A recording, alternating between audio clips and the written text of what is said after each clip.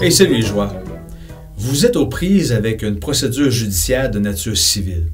Quelqu'un vous a vanté les mérites d'une médiation qui est une alternative à un procès et vous avez décidé de tenter votre chance. Voici comment la médiation devrait se dérouler.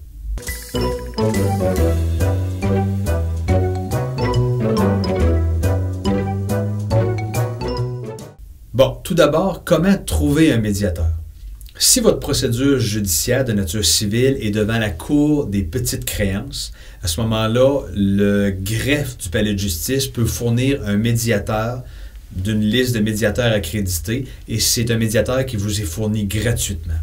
Si jamais vous n'êtes pas devant la Cour des petites créances et vous cherchez un médiateur, il existe un organisme qui est l'Institut d'arbitrage et de médiation du Québec, l'IMAC, où vous êtes capable d'aller sur leur site web, de marquer la région où vous êtes et on va vous donner la liste de tous les médiateurs de votre région.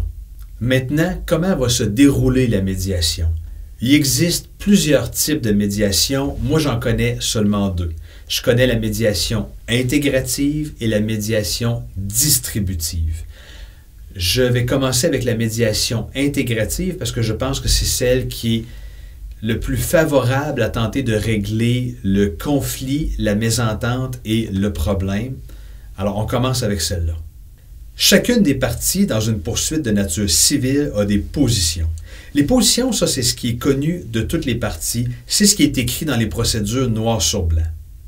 Le médiateur, malgré les positions des parties, va tenter de travailler à trouver les besoins de chaque partie, parce que c'est les besoins d'une partie qui sont la fondation de sa position. Par exemple, peut-être qu'une partie réclame des sommes d'argent suite à une agression par l'autre partie. Ça, c'est sa position. Mais comme besoin, peut-être que la personne qui réclame de l'argent aurait davantage besoin de comprendre pourquoi l'agression s'est produite. Et peut-être que cette personne-là aurait davantage besoin que l'agresseur reconnaisse avoir mal agi et qu'il lui dise des mots très simples ⁇ Je m'excuse ⁇ alors le médiateur, son premier travail, c'est d'essayer de trouver quels sont les besoins de chacune des parties. Ensuite, le médiateur va aller plus loin. Il va tenter de trouver les besoins communs des parties. Les êtres humains ne sont pas si différents les uns des autres et des parties opposées avec des positions opposées peuvent des fois avoir des besoins similaires. C'est une fois que le médiateur aura réussi à démontrer aux parties que malgré leurs positions respectives, leurs besoins respectifs, qu'ils ont des fois des besoins communs et on essaie de faire un brainstorming pour trouver des solutions pour que les besoins communs des parties soient comblés.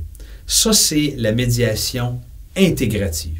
Maintenant, il existe la médiation distributive. Pour vous donner une idée, en anglais, on appelle ça le shuttle mediation. Donc, c'est beaucoup plus rapide, c'est plus expéditif le désavantage, c'est qu'on va moins se concentrer à essayer de régler euh, les, conflits, les mésententes, et on va moins essayer de combler les besoins communs. C'est surtout un jeu d'offre contre offre, argument contre argument. Donc, le médiateur va souvent séparer les parties dans chaque pièce et va faire le jeu, va se promener d'un côté à l'autre, transmettre des arguments, des contre-arguments, des offres, des contre-offres. Il va continuer à faire l'aller-retour comme ça tant qu'il n'y aura pas soit un règlement, soit le moment où le médiateur se rendra compte où c'est impossible d'avoir un règlement, en quel cas ça va se terminer là. Souvent aussi, une médiation intégrative, où on recherche les besoins des parties, va se transformer en cours de route en une médiation distributive. Quand le médiateur se rend compte que ce n'est pas possible d'avancer dans la médiation intégrative, il va prendre la peine de séparer les parties et il va commencer à faire l'aller-retour entre les salles. Il se transforme en médiateur avec une médiation distributive pour essayer d'accélérer les choses un peu. Accepter de régler en médiation, ça veut dire que vous renoncez à réclamer 100% de ce que vous voulez. Par contre, vous allez accepter quelque chose qui, à vos yeux, apparaît plus acceptable que de courir le risque de ce que le juge pourrait vous imposer.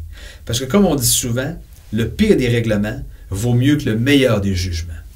Vous avez maintenant une carte de plus dans votre jeu.